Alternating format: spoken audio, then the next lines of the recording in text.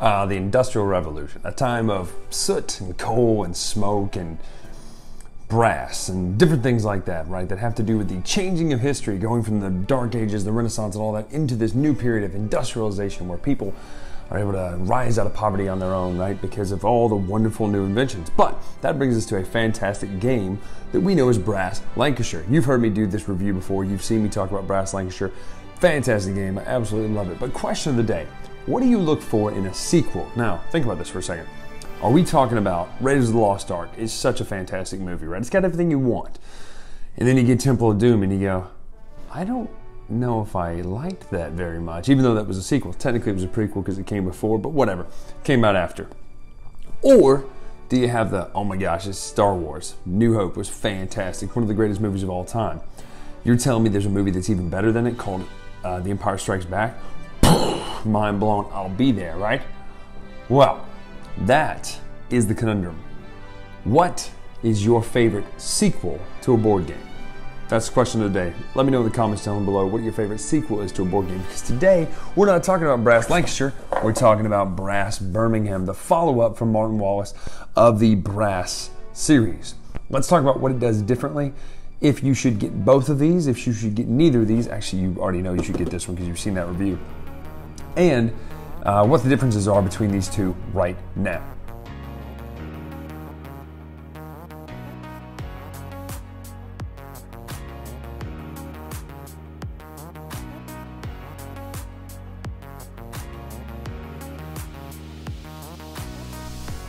So let's do this first. Before we go any further in this review, I'm going to give you two options. Uh, the first part of the video is going to be the quick overview of what's different about Brass Birmingham versus Brass Lancashire. If you've never played either, stick around a few minutes more and we'll give you the full playthrough of how to play Brass Birmingham right now. But let's take a look right now what's different in between these two just here. First and foremost, this is the original Brass Lancashire map down here. 1870 to 18 or 1770 to 1870. You have this map laid out. There are a few things to note. There is a foreign cotton market here, and there are the old school tiles. Now let's look at the new map and see what it has. Now you have the daytime mode and the nighttime mode. We play the nighttime mode every time because it looks just absolutely gorgeous. So you have the nighttime, the black country from 1770 to 1870 again. You have no foreign market, but you do have spaces for wild cards, and we'll talk about those in a minute, you do have notice that the market's here on the outside of the board. So everything selling to uh, outside, there are no ports anymore. Notice that's not a thing. You're selling to these areas, and these will populate with actual demand tokens for what these markets want to buy from you. They also have spots where they will hold beer, and once you, if you choose to use their beer, you'll get to take a little additional bonus. So notice the board looks a little bit different. Uh, the money is uh, up and down versus bottom uh, left to right. Doesn't really matter. It's just aesthetically pleasing. But uh, I'll talk about the wild cards in a minute. Let's look at the two player boards first of all. See the main differences here. So notice the size difference alone. Brass Birmingham is a good bit bigger than Brass Lancashire. In Lancashire, you have just the cotton mills, the uh, ports, the uh, shipyards, ironworks, and then coal. And that's it for the buildings. Over here in Birmingham, though, you have these craft goods, you have cotton again, you have breweries, you have coal, you have ironworks, and then you have these clay pits. Now, these are new resources here, these two, as well as beer. Works the same way. If you want to upgrade these, you obviously have to, you know, pull until you can upgrade. The same symbol. This can only be used during the canal era. These can only be used during the railroad era. You see all those symbols out here still. Uh, canal and then railroad, obviously, for some of these ones, they have a black symbol on it. The same thing holds, you know, it tells you how many links they count for if you're attached to them um, with your actual network and things. So it's basically the same thing out here, except these goods work like cotton mills. They just give different points. So uh, they're a little bit cheaper to get ahead of time. You know, you, they, they just work differently but kind of the same at the same time. They're just cheaper here than cotton is to start with. So it's you know it's a way to get more things out on the board. There is no flat shipyard anymore, so these are the closest estimate to it. Where the first one's worth ten points, second one's worth one, then eleven, then one. So every other one's worth a lot of points. So you kind of pretty much have to upgrade past that to get to another good one, basically. Because um, I mean, there really is no benefit to building these twos and fours. It's the one, three, five that gets you. Uh, again, you have to use beer and these, and this is the other tricky part. You can't actually upgrade this one. Like you can't use the uh, uh, the the action where you pull off to make it better. Why is that word not coming? Develop. You can't use develop action on those, so it's an interesting little tweak. But they're worth a lot of points if you manage to get them all out there. You do sell them and activate the same way as you would craft goods and cotton. So that's what those are for. The other main difference are these wild cards. There are two wild cities and two wild uh, industries each. What happens is one of the actions you can do is you can spend a card out of your hand and discard two cards to draw a wild industry and a wild location card. Yes, it does cost you an action to get these, but in the end, you can build anywhere with these on any city or any industry in a town. So it's neat to have these in your hand. Uh, you obviously can't have more than one of each type, but it's a cool tweak that adds balance when you feel kind of stuck sometimes. Uh, same thing down here for these. These are just the you know, basic, same wonderful, beautiful new art cards that are in this Roxley version. I mean, these are absolutely gorgeous cards. The art on these is just fantastic. You just want to look at it all the time and just see the wonderful industry art. Uh, it makes you wish you kind of step back in time uh, and see this. You know, again, culturally aside with all the, the smog and the things in the air, but I mean, you just want to see this happen in real life, and that's what uh, the artists do such a good job of making you want to actually see uh, what they've created here in real life. So that's one of the beautiful things I can't say enough about in the art in this game. A uh, little, you know, reference cards always good to have, but uh, that's how the, they really differ. Now I'm going to give you a quick overview as far as the game itself, how to play uh, Birmingham right now, because it's not a lot different really if you play brass. But let's just pretend you haven't played brass before at all. I'll show you what the game looks like set up, and we'll go from there. So now we're set up for a full four-person game. All the cards go up here in the top. You'll see that there. Uh, the uh, wild cards go here. The markets are placed here, here, here, here, and here. You'll notice the beer tokens are put on each one of those. They're nice little wooden barrels that are cool. They're, uh, they just denote that you have a beer resource. What's going to happen on your turn is, it's a card-driven game, even though it doesn't feel like it. You will take a hand of eight cards. The first turn you'll play one card instead of two. Normally you'll play two actions per round. Um, score is kept at the end of two times. There's a canal era, and you'll notice on the board these canals are blue. You may not be able to see, but the rails are black right under it. Some places only have canals, i.e., here. Some places only have rails. In the rail era, you can't use canals. In the canal era, you can't use rails. Pretty pretty similar, right? Now, obviously, you'll notice in the rail era, there are more places you can get to than you could in the canal era. You'll notice that the uh, markets are populated with certain demand tokens. So this one will take anything. This one over here wants only pottery. Uh, this one will take craft goods. Up there's cotton. Up there's cotton as well. And some of them just don't have anything on them. The beer tokens that are there, sometimes when you sell a good, you have to provide a beer. When you do use the market's beer instead of your own, you get to take the little bonus that there. This would be the develop action symbol. This would be you just increase your income by an additional two. That one is three victory points. That one is five dollars, and this one is four victory points. So it's just ways to continue giving yourself more points. On your turn, you can do uh, two of the actions that are listed. These would be the build action, so you can place an industry tile on the board. That would be based on the cost over here. So let's say you wanted to build that cotton right there. It costs you $12. You can only build this one in the canal era, $12. When you activate it, and you activate buildings in different ways, it gives you five victory points. It will when you actually score them, and it increases immediately your income level by five. And it's connected to one link. Now that's important for scoring. You will actually start over here with your token. Your income level is to the right. Your victory points are to the left. So as you move up this track, you will be getting uh, certain levels of, uh, you'll have two tokens, one's a victory point and one's money. But as you move up this track, it may say increase your income level by three points. You'll get one, two, three. Well, then you're still in the one range. Let's say you do five, so it'd be one, two, three, four, five. You then, during the income phase, will get four, just because it's where this number is, even though your disk is over here, because this number encompasses a few different numbers. Now, building, that's how buildings work. Network, you can build either a canal or a railroad link. When you build a canal, it costs you, um, uh, it's down here, it's $3 and you can only build it during the canal phase. When you build railroads during the rail phase, it costs you a coal.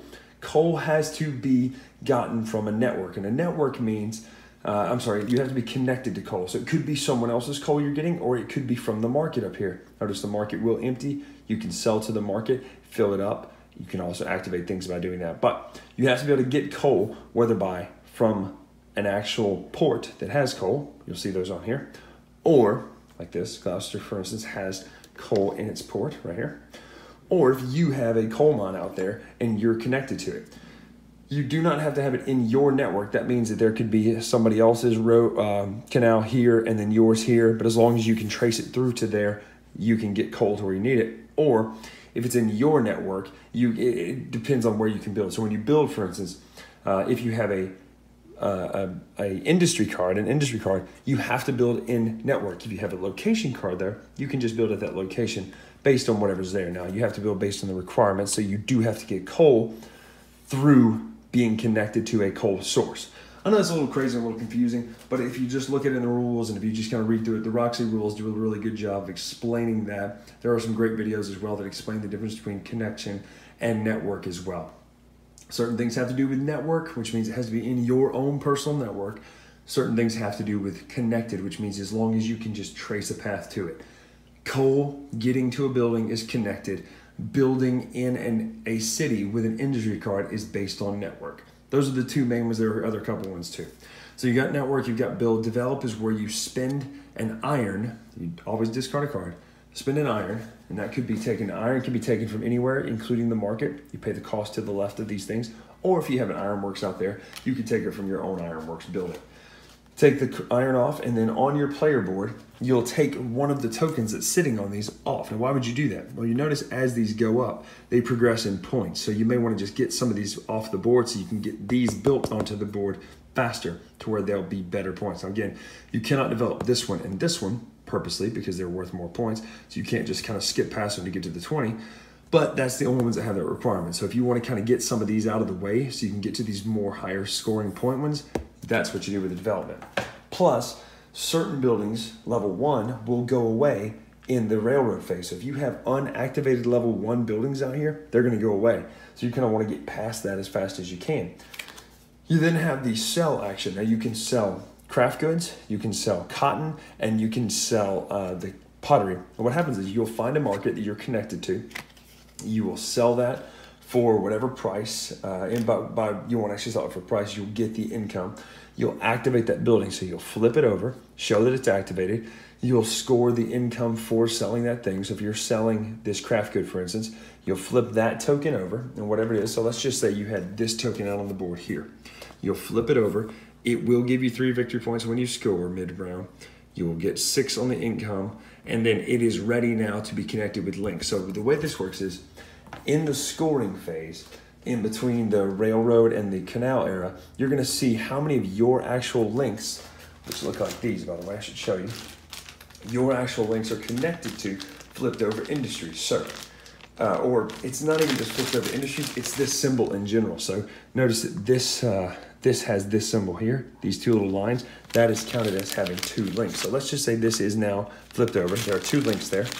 Well, if I have a canal here, and a canal here, and a canal here, you'll score every single canal, and every canal, and then again in the railroad phase, will score for each of these symbols it's adjacent to. So all of these are worth two, four, six. Now, if there was something here, if there was something here, if there was something here, or I should say here, uh, you would score off everything this is connected to. So you could potentially get, even with other people's, two, four, six, eight from just this one link.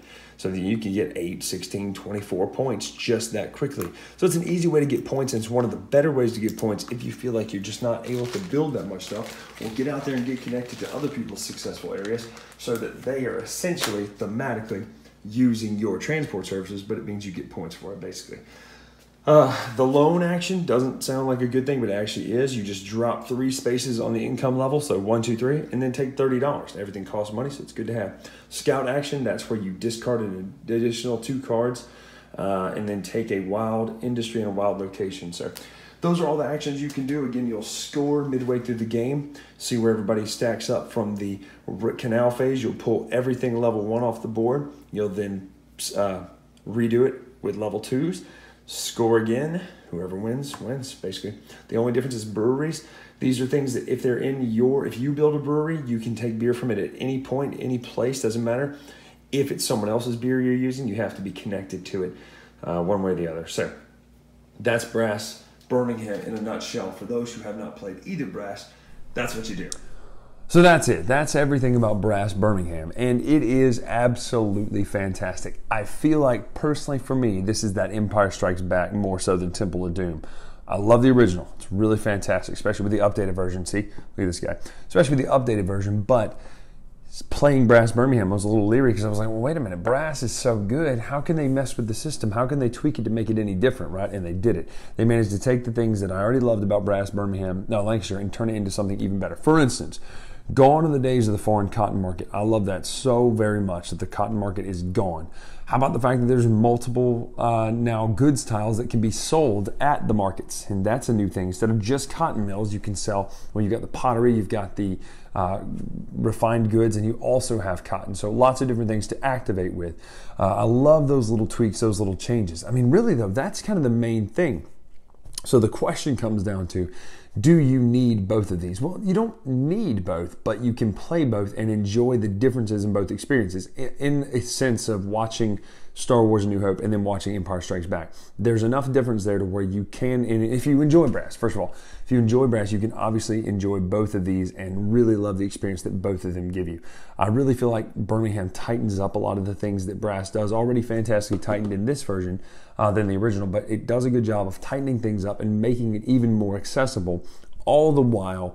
Um, just adding so much new things, so many new things that make it just even more fun to play. Like the beer, uh, having that be one thing where when you sell, you have to have access to beer. So it's just another little puzzle, another little trinket, tricksy little way to have to get a resource from the board into your use. Now, used to it was just coal, iron you could get from the market, but now you have to be able to get beer. If it's your own beer, you can get it just because it's yours.